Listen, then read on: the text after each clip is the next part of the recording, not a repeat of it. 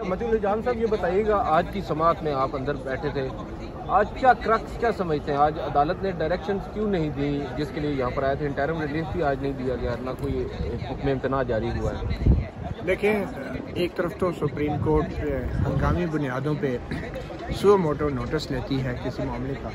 और दूसरी तरफ़ ये कह के उसे अगले दिन के लिए डाल देती है कि ठीक है, हम नोटिस जारी कर रहे हैं। अगर ये मामला इतना ही संगीन था और इतना ही सीरियस था तो आज कोई ना कोई एक उनको अबूरी हुक्म जारी करना चाहिए था। और ख़ुद सुप्रीम कोर्ट ने इस बात को तस्लीम किया है कि जो आर्टिकल पाँच का जो रियासत से शहरीों की वफादारी का हवाला दिया गया है, डिप्टी स्पीकर की रूलिंग में तो वो एक ऐसे हवाला दिया गया है कि ना तो किसी अदालत की फाइंडिंग है, ना किसी अदालत में समात हुई है, ना किसी मुलजम के ख़िलाफ़ इल्ज़ाम था, ना उसको सजा हुई है, और आर्टिकल पाँच का हवाला दे दिया गया है। तो इसका, इस डिप्टी स्पीकर की रूलिंग की भी कानूनी और इलीगलिटी और लीगलिटी की जो सिचुएशन है, उसको देखना है।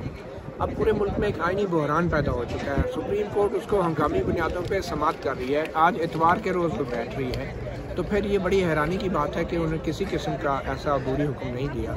और कम से कम एक दिन के लिए अगर समात मुलतवी हुई थी, कल तक के हुई है तो ये कह सकते थे कि डिप्टी स्पीकर का जो हुक्म है, जो रूलिंग है, और जो प्रेसिडेंट ऑफ़ पाकिस्तान का जो हुक्म है असम्बली डिजॉल्व करने का तो उनको मुतल किया जाता है। ये सुप्रीम कोर्ट का अख्तियार है, ये कोई पहली बार नहीं है, और उसको नेक्स्ट डे पर लगा देते मगर ऐसा नहीं किया गया, और मालूम नहीं। पहले भी सदारती रेफरेंस के अंदर ऑलमोस्ट यही सवाल उठाए गए थे और इन सवालों का जवाब भी सुप्रीम कोर्ट बर वक्त और मौसर अंदाज में देने में नाकाम रही है। और मैं समझता हूँ जो आज आइनी बहरान है, उसकी एक बड़ी जिम्मेदार और बड़ी वजह खुद सुप्रीम कोर्ट है कि अगर सदारती रेफरेंस की समात में कोई वाजे, ये कोई हुक्म जारी कर देते तो ये आइनी बहरान भी ना होता।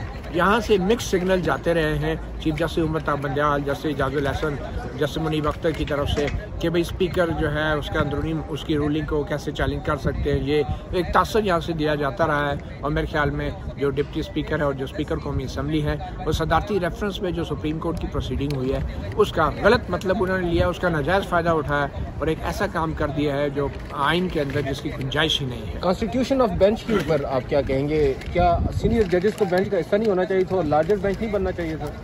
देखिए जी, अब तो ये मामूल बन गया है, बल्कि मज़ाक बन गया है सुप्रीम कोर्ट का कि जो भी हसास मुकदमे होते हैं, उसमें सीनियर जज, जो सीनियर तरीन जज है जैसे खालिफा ईसा, उनको नहीं बिठाया जाता। ये एक मामूल बन गया और ये एक और वजह है कि सुप्रीम कोर्ट बहुत तेज़ी से अपनी साख खो रही है। और आज जो उन्होंने इज्तनाब किया है ठोस फैसला करने में और आज जो कंपोजिशन ऑफ़ बेंच था और उस हर बेंच में जस्टिस एजाजुल हसन को बिठा देते हैं और खुद बैठे होते हैं। मतलब बाकी सारे जज जो है इस काबिल ही नहीं है कि इतने असास मामला को तो मेरे ख्याल में मेरे ख्याल और वो अवेलेबल भी थे जैसे क्वालिफाइड सर मेरे ख्याल में सुप्रीम कोर्ट पार्लियामेंट को बहरान से बचाते बचाते लगता है कि ये खुद भी किसी बहरान का शिकार हो जाएगी और इस वक्त सुप्रीम कोर्ट की जो साख है, वो लोएस्ट ऐप पे है और उसकी बड़ी वजह ये है कि यहाँ पे जो बेंचेस की तश्कील दी जाती है और जिस हवाले से सो मोटो नोटिस दिए जाते हैं और फिर कोई ठोस और मौसर और बर वक्त फैसले नहीं हो रहे तो जिसकी वजह से सुप्रीम कोर्ट भी जो है एक वजह बन रही है पूरे मुल्क में इस आइनी बहरान आज आप भी हेयरिंग में मौजूद थे। आज आपको क्या लगता है, यहाँ से खबर क्या निकली है? और एक हंगामी बुनियादों पर समात रखी गई, और उसके बाद निकला उसमें से कुछ भी नहीं, कुछ नोटिस वगैरह सिर्फ़ कर दिए गए हैं।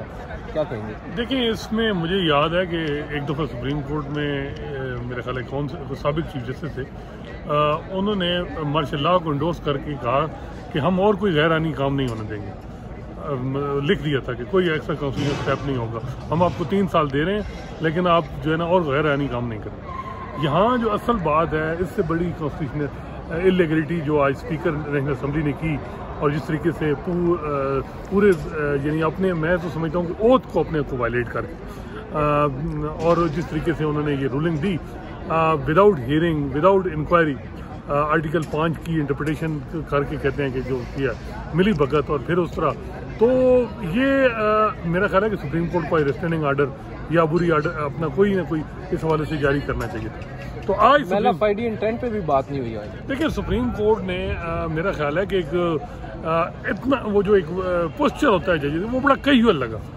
मेरे ख्याल में उनका वो जो एक था वो उन्होंने वो रूटीन का था और हुकूमत के लोग जो हैं वो और जो वकला हैं वो बड़े खुश हैं आज की हेयरिंग तो बेंच की कंपोजिशन जिस तरह मतीला जान साहब ने बात की उससे भी अंदाज़ा हो गया था कि केस किस तरह जाएगा और क्या होगा।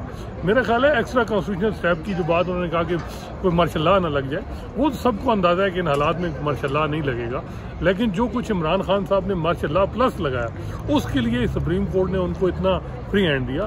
तो ये चीज़ भी आ, मेरा ख्याल है कि सुप्रीम कोर्ट ने आज जो और जो प्रोसीडिंग और जितना जिस तरीके से की वो सिर्फ़ एक मकसद था कि जो सारा दिन होता रहा उससे ज़्यादा चीज़ें बढ़े नहीं चीज़ों को कंट्रोल करने के लिए किया। मेरा ख्याल है कि उन्होंने जो असल कान अपना एक जो कॉन्स्टिट्यूशनल रोल था वो उस तरह जिस तरह आज अदा करना चाहिए था जजेस को उस तरह नहीं किया। जिस तरह नोटिस लिया गया है और जिस तरह की अदालत में आज समात हुई है इससे लगता तो नहीं है कि जजेस इतने ज़्यादा कंसर्न है। यही मैं कह रहा हूँ कि उनका जो बॉडी बॉडी लैंग्वेज पोस्चर जो आगे जजेस का रिमार्क इस तरह उन्होंने बिल्कुल बल्कि जस्टिस एजाजुल हसन तो कह रहे थे कि सदर को अगर हमने प्राइम मिनिस्टर ने कह दिया तो हम कैसे उन्हें रोकें डिजोल्यूशन के लिए। तो वो तो मेरा ख्याल है वो जिस तरह एक आम केस, एक बोनाफाइडी केस, उन्होंने हुकूमत का बोनाफाइडी केस तसर ये मिला कि सुप्रीम कोर्ट को, के रिएक्शन से कि वो एक, उसको एक एक बिल्कुल सरल गैर एनी काम को गैर एनी एक्ट को वो समझ रहे हैं कि ये कोई बड़ा कॉन्स्टिट्यूशनल केस है जिसमें हमने माजी में इंटरप्रिटेशन किए हैं हम इंटरप्रिटेशन करेंगे। तो ये जो उनका पूरा एक जो जिस तरीके से कंडक्ट है सुप्रीम कोर्ट का रहा। फिर बेंचेस की कंपोजिशन तो उससे मेरा ख्याल है बहुत से लोगों को मायूसी हुई। थैंक यू अच्छा क्यों साहब आज आप भी हेयरिंग में मौजूद थे। आज आपको क्या लगता है, यहाँ से खबर क्या निकली है? और एक हंगामी बुनियादों पर समात रखी गई, और उसके बाद निकला उसमें से कुछ भी नहीं, कुछ नोटिस वगैरह सिर्फ़ कर दिए गए हैं। क्या कहेंगे? देखिए, इसमें मुझे याद है कि एक दफ़ा सुप्रीम कोर्ट में मेरे ख्याल कौन से सबक चीफ जस्टिस थे उन्होंने मार्शल लॉ को इंडोर्स करके कहा कि हम और कोई गैरानी काम नहीं होने देंगे। लिख दिया था कि कोई एक्स्ट्रा काउंसिलिंग स्टेप नहीं होगा। हम आपको तीन साल दे रहे हैं, लेकिन आप जो है ना और गैरानी काम नहीं करेंगे। यहाँ जो असल बात है इससे बड़ी कॉन्स्टिट्यूशनल इलेगलिटी जो आज स्पीकर नेशनल असम्बली ने की और जिस तरीके से पूर, पूरे यानी अपने मैं तो समझता हूँ कि ओथ को अपने को वायलेट करके और जिस तरीके से उन्होंने ये रूलिंग दी without hearing without inquiry article पाँच की इंटरप्रटेशन करके कहते हैं कि जो किया मिली भगत और फिर उस तरह। तो ये आ, मेरा ख्याल है कि सुप्रीम कोर्ट का रिस्टेनिंग आर्डर या बुरी अपना कोई ना कोई इस हवाले से जारी करना चाहिए था। तो आज इंटेंट पे भी बात नहीं हुई आज। देखिए सुप्रीम कोर्ट ने आ, मेरा ख्याल है कि एक आ, इतना वो जो एक पोस्चर होता है जजेस वो बड़ा कैजुअल लगा। मेरे ख्याल में उनका वो जो एक था वो उन्होंने वो रूटीन का था और हुकूमत के लोग जो हैं वो और जो वकला हैं वो बड़े खुश हैं आज की हियरिंग तो बेंच की कंपोजिशन जिस तरह मतीला जान साहब ने बात की आ, उससे भी अंदाज़ा हो गया था कि केस किस तरह जाएगा और क्या होगा?